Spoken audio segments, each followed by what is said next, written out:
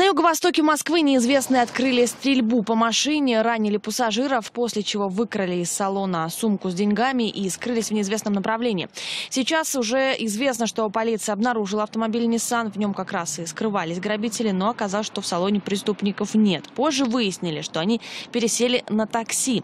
В данный момент правоохранители разыскивают Ford Focus желтого цвета. Все подробности мы узнаем у нашего корреспондента Андрея Ященко. Он работает на месте событий.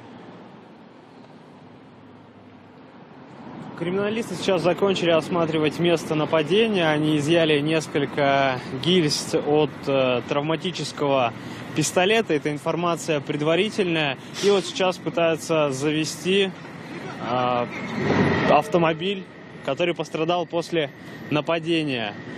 Неизвестные сразу после того, как ограбили владельцев э, Volkswagen скрылись, но далеко им уехать не удалось. Примерно через 4 километра они врезались в столб, бросили свой автомобиль, а затем остановили такси, выкинули водителя и уже скрылись на такси.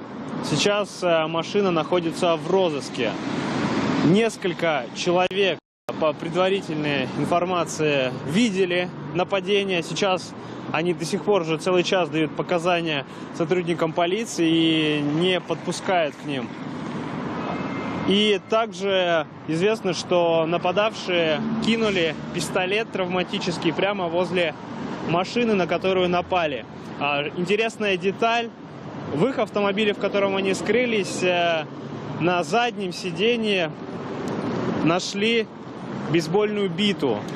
По предварительной информации, нападавшие это уроженцы э, среднеазиатских республик, но э, пока точно кем они являются и их возраст, а такой информации нет.